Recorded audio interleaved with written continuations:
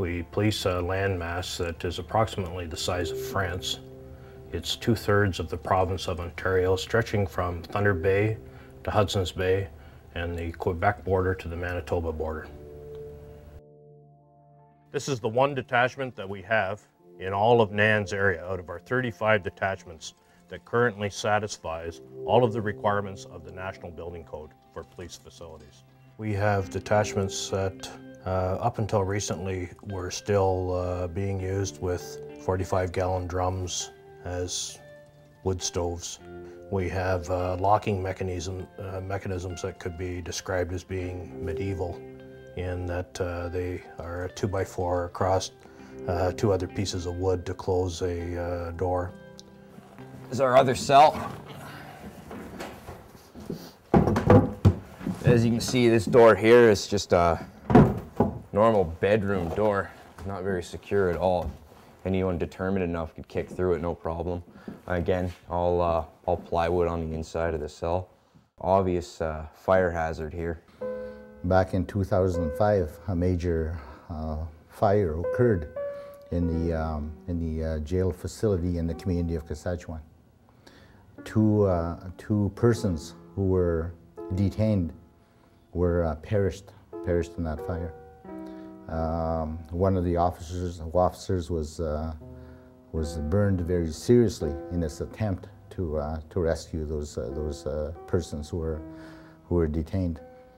And this happened for one basic reason, that there is no funding to be able to provide for a quality police station in that community.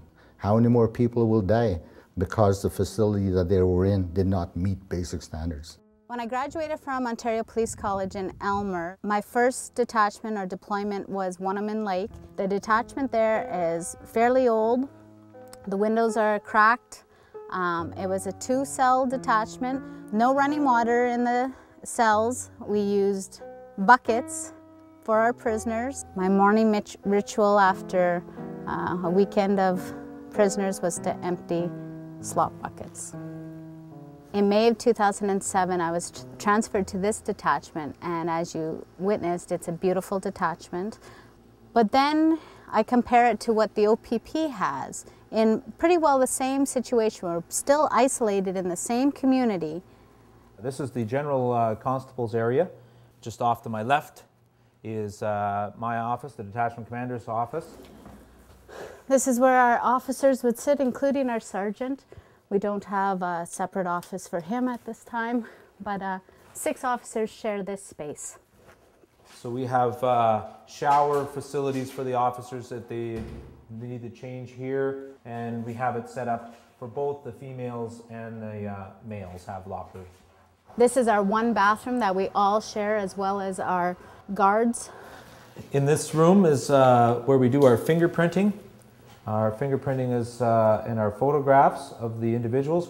We use this mechanism. We tape it to our table, and that's where we fingerprint them. This room is our guards room. Each cell is recorded and uh, we keep the tapes for a certain period of time before they're recorded over. We do not have any video cameras. So our guard sits right in this area with the prisoners and monitors our prisoners through these windows. Anybody that wants to speak to their lawyers are allowed to use this uh, phone booth um, to make their telephone calls and speak in private. This room here is we use it for storage for property bins, but it's also used as the area where we let them call their lawyer. It's the, a private area for them to speak to duty counsel or lawyer. That's it for our detachment. Welcome to Mishki Detachment. so this is our, just our general storage for, uh, for all of our paper and our envelopes, etc an interview room that's set up with uh, video equipment, breathalyzer room, property vault, the drug vault, scenes of crime office, just another storage facility. Our uh, cleaning person has her own storage room uh, that she uses for storing all the all the cleaning supplies. This is uh, our fitness room.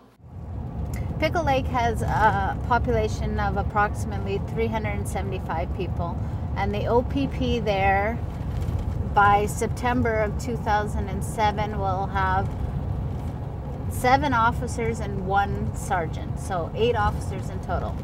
We have five officers and one sergeant, and we police 900 people on the reserve territory. To me, it just doesn't make sense that we have triple the population and less manpower to police them.